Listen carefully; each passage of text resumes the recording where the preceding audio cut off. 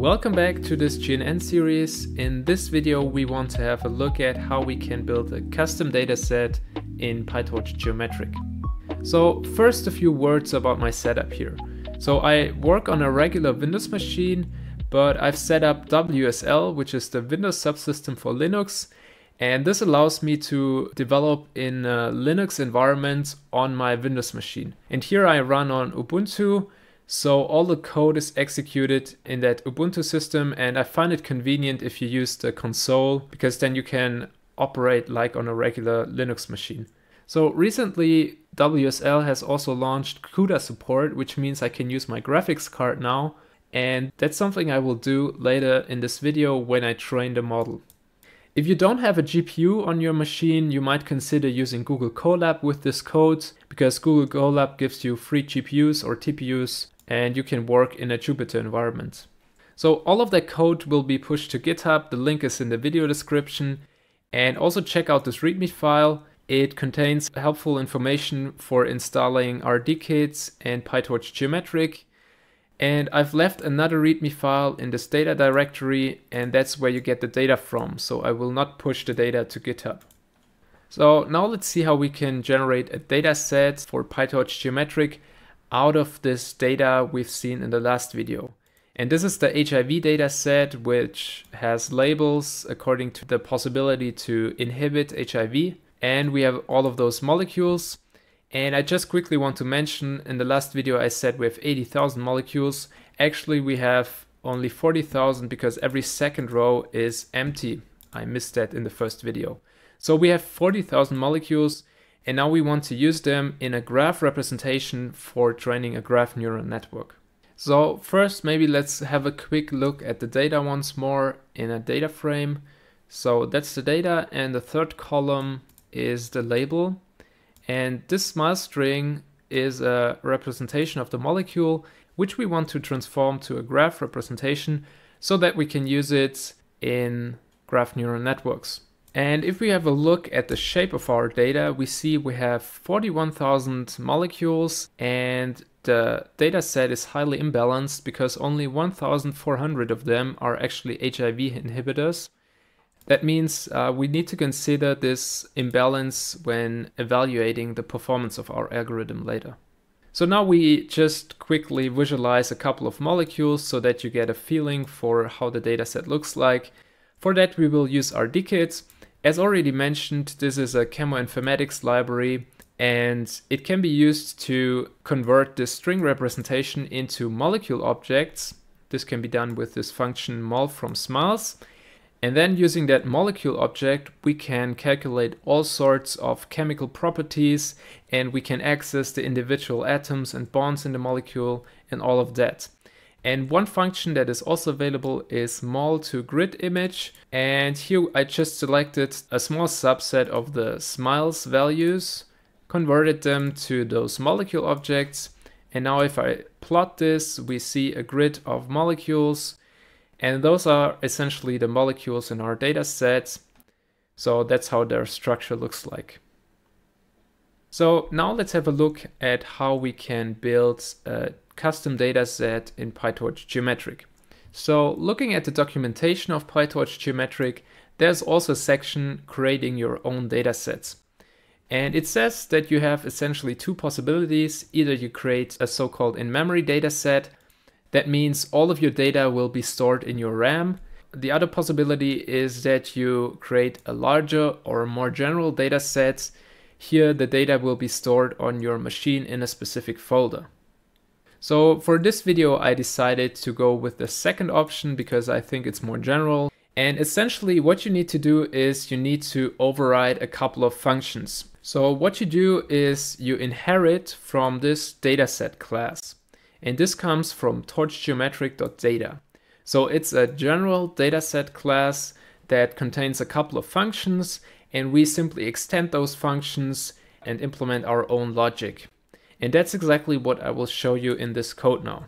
So first of all, you have to define this init function. Here you pass in root, transform, and pre-transform. I will not use those two. Here you could apply additional transformations, but I will skip that. There are further examples in the documentation for this. So what you need to pass in is a root directory. And as it says here, that is where the data set should be stored. And in my case, it would be under data. And here we will have two folders. One is called raw and one is called preprocessed.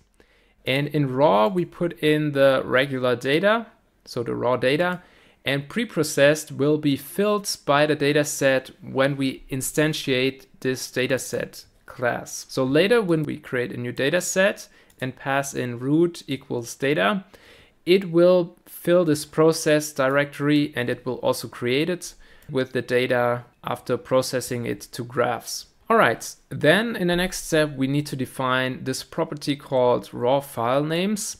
What we return here is the name of our data set or of multiple data sets we have. If this file is found in raw directory, which is this directory, then the download is not triggered. So there's also a download functionality for this data set because usually they come pre-shipped with PyTorch Geometric and if you don't have them, it will automatically download them.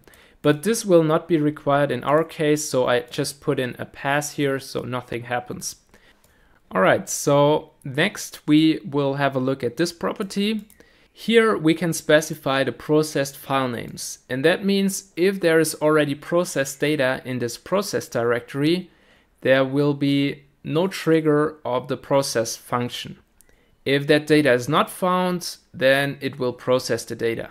Essentially, that means if we process the data once, we can always reload it and this processing needs to be done only once as the data is then sort of cached in this directory.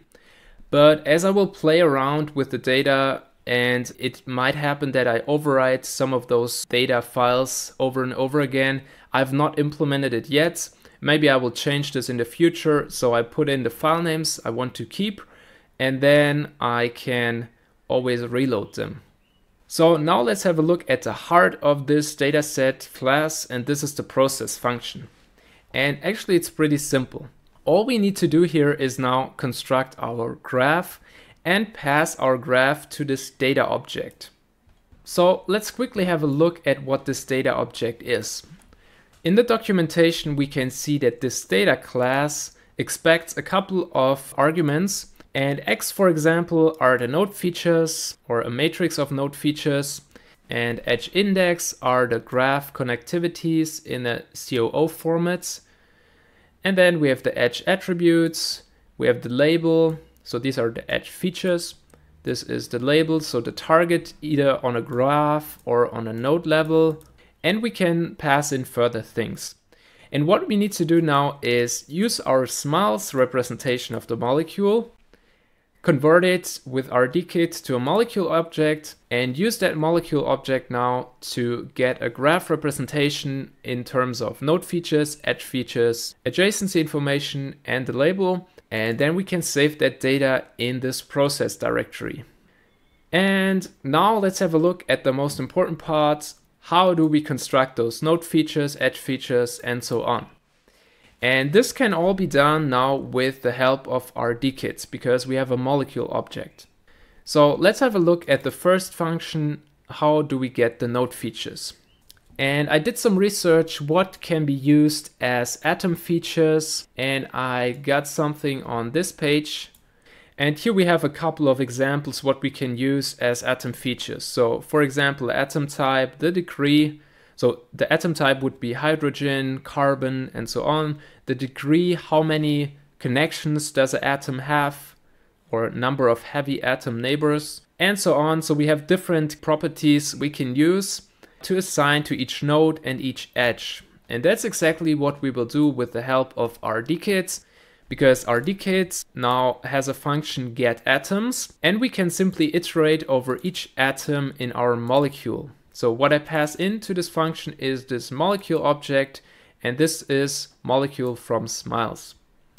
So now I have further functions such as get atomic number, get degree, formal charge, hybridization, is aromatic, and those are basically the five features we will use in the following. So what I do, I append all of them to a list and then I create a list of lists, which is nothing else but a matrix. So this will return a matrix number of nodes times node feature size. So in the x direction we have the node feature size and in the y direction we have the number of nodes and that's essentially the matrix we have. And then what I do is I convert that to a torch tensor and return all of that and we get the node features here. And I can pass them then immediately to this data object as argument x. Now let's have a look at the edge features. For the edge features, I do pretty much the same thing, but instead of iterating over the atoms, I now iterate over the bonds, and then I add all of the bond features. So for example, get bond type as double or is in ring and I add that to those edge features and I append those edge features to all edge features. So I construct another matrix, here only two features, and then again I convert all of that to a tensor and pass it back to this function. Maybe another remark, RDKit has a pretty extensive documentation where you find all of those functions I just talked about. So you can construct many, many features out of these functions. And now let's have a look at how we get the adjacency information. For that, we will of course also use RDKit. And now luckily there is a function get adjacency matrix, which already gives us the adjacency matrix of a molecule. And this adjacency matrix now needs to be converted to this COO format and that's what I do with this function and return it to our function here. And finally, the only thing left is the label. And the label is just coming from our data frame and is this HIV active, so either 0 or 1. And additionally, I also pass in the smart string, so that's good for debugging later because we can have a look at what the original representation of the molecule was like. So, and finally, I do that for every molecule in the data set. So for every molecule, I calculate all of those features and labels and store that data in the process directory. And additionally, I added this TQDM progress bar, which tells us how far our process is. Now let's execute all of that and we can see how the dataset looks like in action. Okay, now when I execute this cell, it will start with the processing and this print of processing already comes from this parent class datasets. So also the call of processing, like calling that process function is triggered by this dataset class. So that's the parent class that takes care of that. All right, and then it says done because all of the data is processed and if we have a look at this process directory we see data 0 1 and so on. And now if we access the data at a specific index for instance data set at position 0 it will load that data object with this load function. So torch load and then data at index. And now let's investigate what we get. So if I execute that we see we get the edge index. So that's the COO format. Node 0 is connected to node 9, node 1 to node 2, and so on.